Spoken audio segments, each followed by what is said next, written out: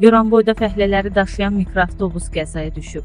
Ağır yol nəqliyyat hadisəsi zamanı 24 nəfər müxtəlif dərəcəli bədən xəsarətləri alıb. Hadisə səhər saat 4-5 radələrində rayonun Qaramsalı kəndində qeydə alınıb. Körpünün üzərindən keçən zaman idarəetməni itirən sürücü mikroavtobusu aşırıb. Bu zaman avtomobildə olan sərnişinlər zərbənin gücündən, həmçinin özləri ilə daşıdıqları termoslardan axan isti çaydan yanıq xəsarətləri alıblar. Xəsarət alanlar Goranboyun müxtəlif kəndlərindən fəhləliyə gedirmişlər.